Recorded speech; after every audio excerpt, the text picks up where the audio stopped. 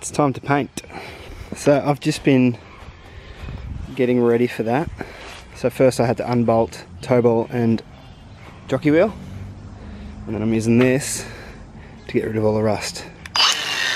So obviously there's rust where I've welded, but there is still an old floor there. So I've got to get to work on that. It's going to take a while and it's going to be a pain in the ass. So I've been on the wire brush for about know, an hour. It came off pretty easy, but you can't really see it, but it's a lot cleaner than what it was. I got a lot of the old paint off and I got just, it had just surface rust on it, which is no big deal. But yeah, I've got to do a little bit more underneath. So I've got to lay on my back and grind some crap off, but other than that, it's not too bad. I want to take the wheels off just so I can paint in behind them a little bit better and underneath them a little bit better. And then I can tape up the drum and the bolts and stuff on the leaf suspension. So I'm just going to get a bottle jack on the axle lift the rear up get an axle stand each side. We're on a bit of a slant so I'm going to hammer in a star picket at the back there and get a heavy ratchet strap and just ratchet around that bit of steel there and just to hold it so it doesn't roll forward because when I take the wheels off we're not going to have a handbrake anymore. And I'll tell you why we're definitely not going to have a handbrake. So yes still more to do before we paint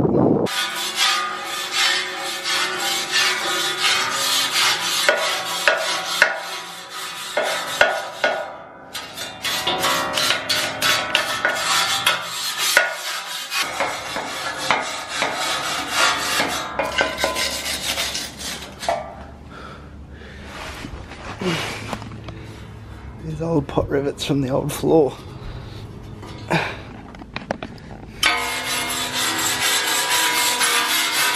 Morning guys, just about to pull these wheels off. Um, just so I can get in behind there and sand that, uh, wire brush that steel a bit better.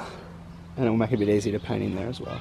A star picket in the ground, and a strap, just hanging onto it. Should be enough. Morning. What a messy garage. Stuff everywhere. So I'm painting this morning. we borrowed, we're going to spray. We borrowed this compressor. It's ancient, but it'll do the job. From these cool guys across the road. You know, I only met them a couple of times, but we got chatting and they said they had a compressor and that we could borrow it, so that was really cool. Um, it's just something I've never had a need to get one really, but yeah. So, got our terps just for cleaning up. We've got a primer in the medium grey. So that's an undercoat, we'll do two coats of that. And then we've got our top coat. And we've gone for the aluminium gloss finish, which is essentially a silver. But these were both from Bunnings. The undercoat was 70 bucks and the top coat was just over 100. And it's sunny today, so I'm gonna start on one of the undercoats. Got my drums covered. I'm not gonna worry about covering the leaf springs because I'm not gonna be like spraying them directly, but even if I get paint on them, it's not really gonna matter. I might just drape something over them anyway. But yeah, we're up on axle stands. So we have a floating van. And I've got all my rust off, I think I've already showed you that. That's the old chassis there. And that's the new stuff. So, the new stuff obviously doesn't need much prep. Yeah, gonna start mixing some paint.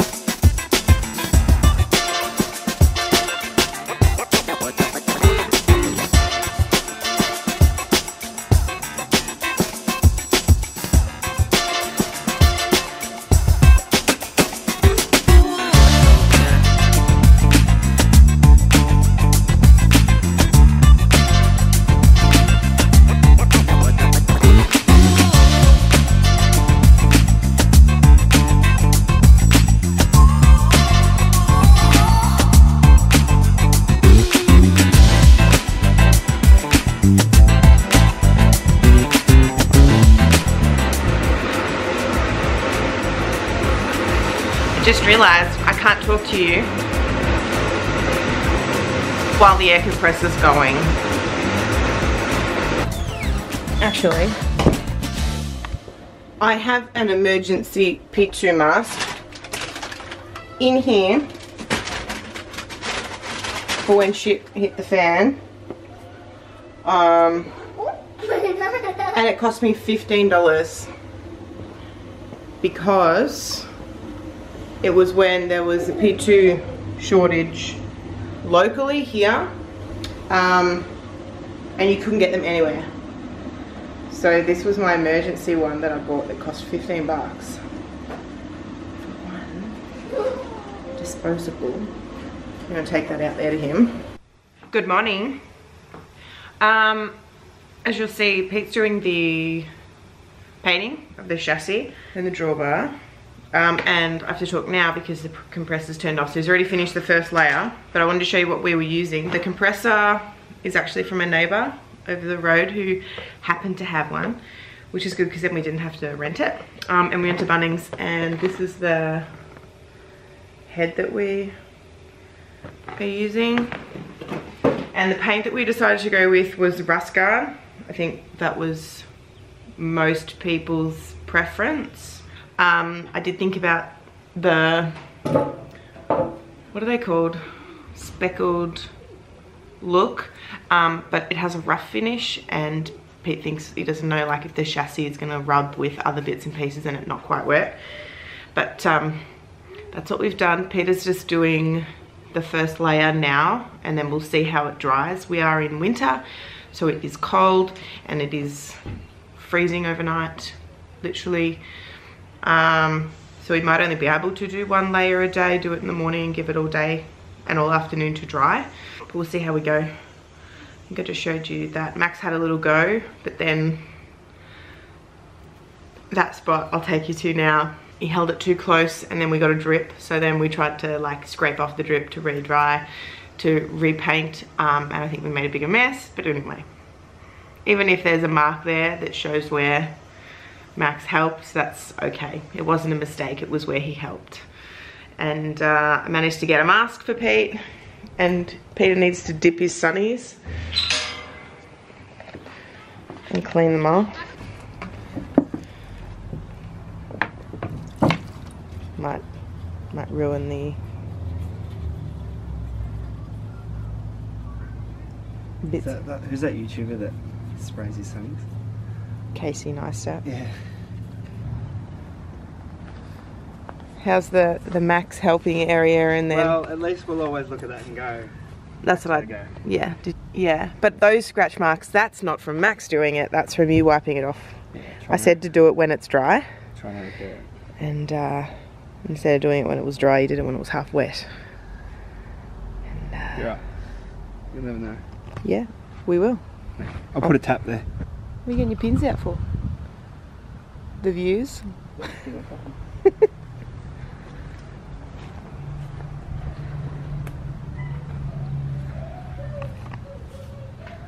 Missed a few spots in here, babe. Couldn't see. It was really hard. That's alright. Hello, day two of painting. We didn't end up putting a second base coat on yesterday. Um, I think we're going to stick to one coat a day. Being that it gets to the minuses, it's between like minus one to three degrees overnight. And it's still, you know, at 10 o'clock it's still three or four degrees. So we're just gonna do one coat a day. Something we forgot yesterday was we forgot to paint the brackets that hold up the water tanks.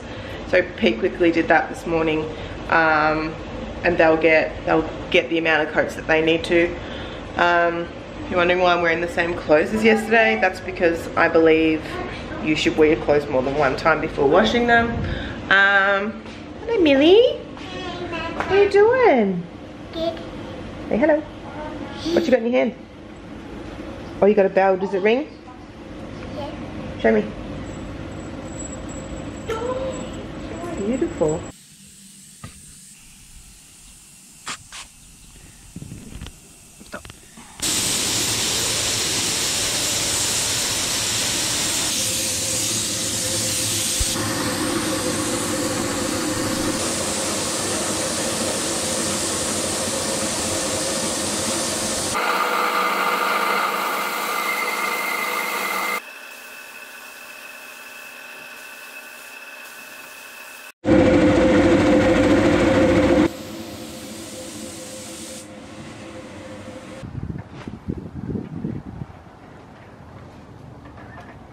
Pretty good. So that's the second layer of the base. Mm -hmm. Done. Good morrow, everybody. It's actually been two days in between clips. We're gonna do, Peter's gonna do the first coat. The first top coat for the chassis, so that'll be good indication to what it looks like, the colour. A bit nervous, anyway. Um, a bird did a poo on the front of the chassis here. And um, Peter wiped it off and it wiped a heap of paint off with it. So he had to sort of just brush it on with a brush. So that was a pain. But it's been now a couple of days since the second coat. So that should be nice and sealed and dried enough for this top coat.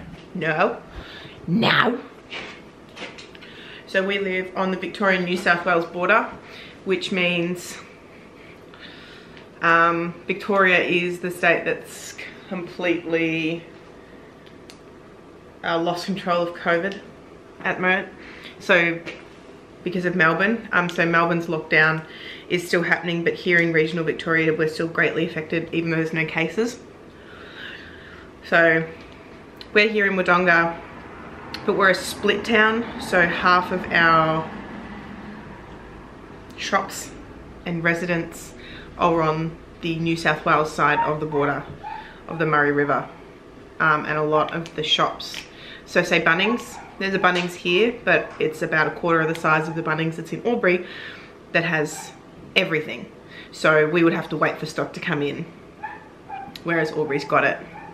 Um, as of today or tonight, um, they're making the restrictions being able to cross the border even tighter. So now it's going to be within the bubble and only being able to cross for essential work and essential services.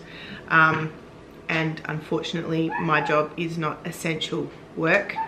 So I'm hoping that it's not going to last very long because um, I'm kind of paying for the bills at the moment. And um, so very stressed, very stressful time at the minute, but um, we're just gonna keep moving forward how we can, where we can. And um, yeah, it's a really nice weather day today, so hopefully it'll be really nice painting and um, yeah, so we'll roll that.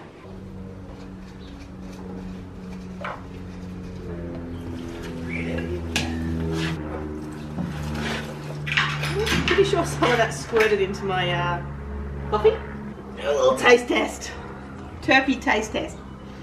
Oh, oh. Stinks like it. He's getting drunk. Oh, taste it. Oh, it was, and then I got terps in it. Splashed out, out of the bucket into the coffee. That one. Whoa. Oh, it's got sparkles in it.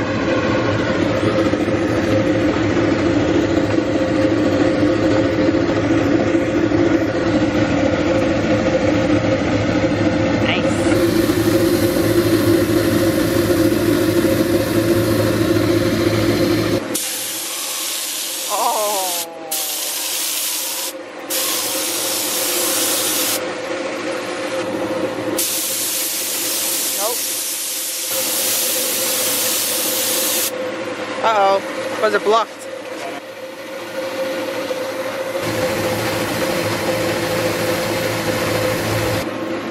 It looks cool though. We've had to add some thinner and see if that's going to help. Still doing it.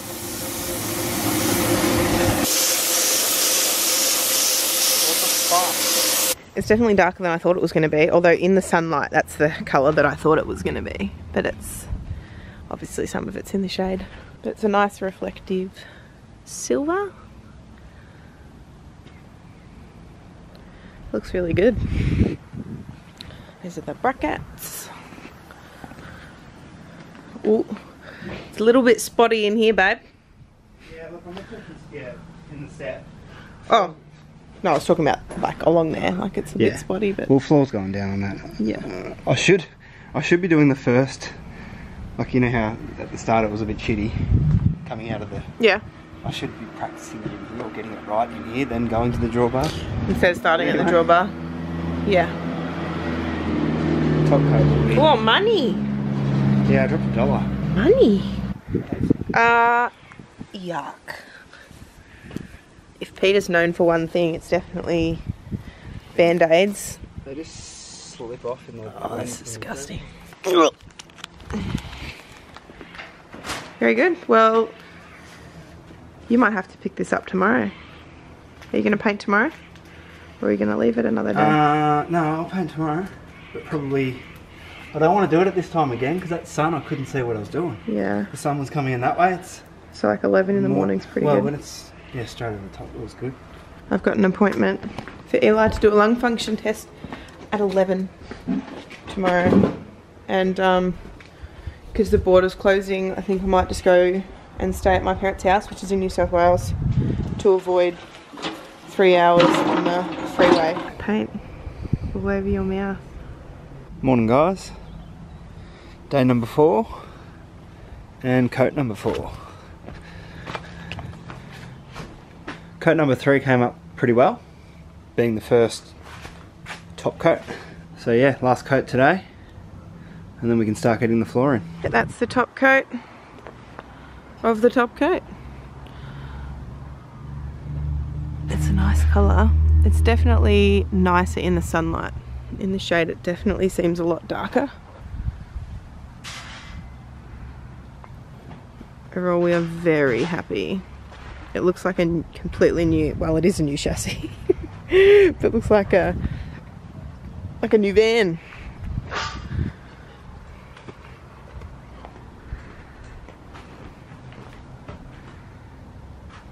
If you're wondering what those little bits are, That's sock. my socks. Fluffy sock bits. But the floor goes on that, so. Yeah, that's fine. Follow your thumb. Yuck. Oh, that one wasn't as clean, babe. I don't know. Mm. Oh. they're, they're actually Little nipple, nipple. nipples. These nipples. What happened to your thumb, by the way? Nearly chopped it off. Cut an onion. Come on, focus. Through the nail. It was this. Cutting up spring onion. Gets you every time. It's delicious. It's worth it. Hey guys, thanks so much for watching. If you can, give us a like and we'd love for you to subscribe. Um, next week's video, we are installing and hooking up the electric brakes um, and we're also getting a head start on the flooring. So thanks so much for watching. See you next one. I think this video is going to be long enough. Bye bye.